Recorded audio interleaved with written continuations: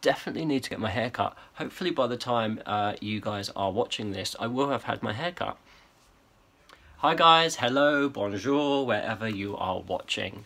Uh, so for this week's video, I'm going to give you a rundown of my top 5 uh, favourite cast recordings. Um, I've been doing a lot of thinking this week about um, my favourite uh, cast albums from both um, London and Broadway, and I've come up with a list um, of about 12 um, of my favourites, but I'm just going to give you my top 5 if I can pick them because I've still got a whole list here.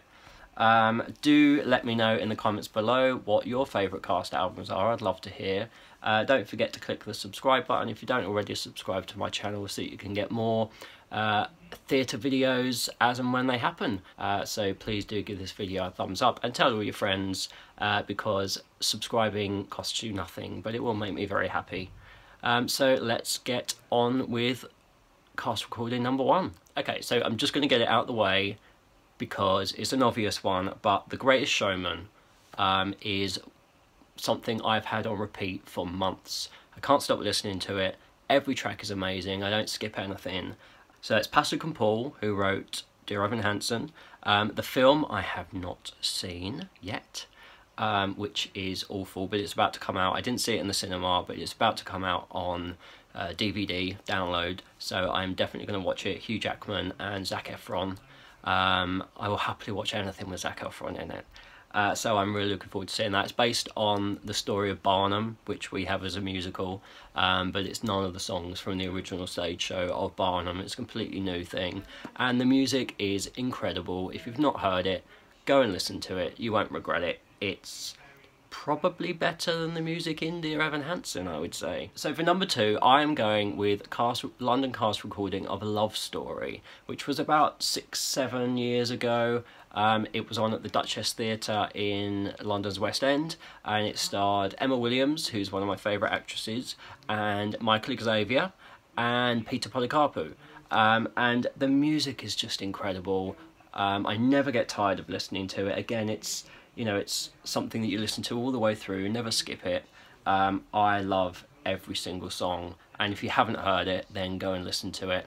Um, because it's literally one of my favourite albums in the world ever. So for number three, this is a bit of a strange one, but it's a it's a concept recording of a musical called The In Between, written by Laura Tisdall.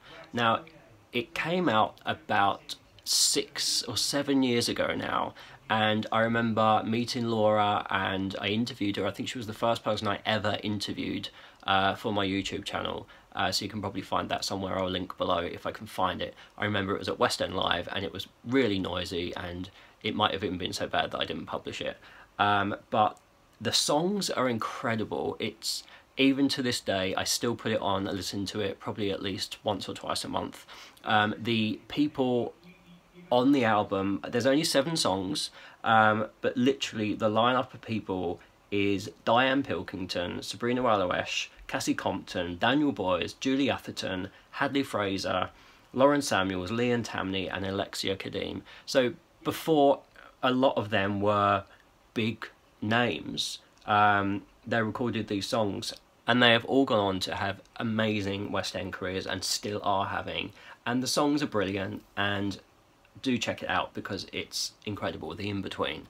So the fourth one I'm going to talk about is The Girls, uh, the Gary Barlow musical, um, also now retitled The Calendar Girls uh, for the UK tour that's about to start. It was on in the West End in 2016, 2017, 2017 um, and it didn't last for that long, but the album has recently come out and it's it's just incredible when you listen to it, I listened to it properly and made notes to review it, as I do when I review albums, and the more I thought about it and the more I listened to it, the more I realised how incredible the story was and the message, the female empowerment and um, people throughout the ages, women, you know, whether you're young or whether you're old or whether you're quite old, um, it's just, it's an incredible concept, really well told and really well written.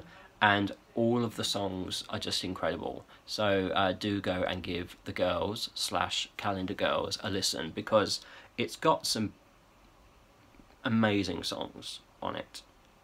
And my number one favourite cast recording is Carrie, the musical. Um, there is a cast recording out there um, from, I believe, the Seattle production um, that was done in 2012.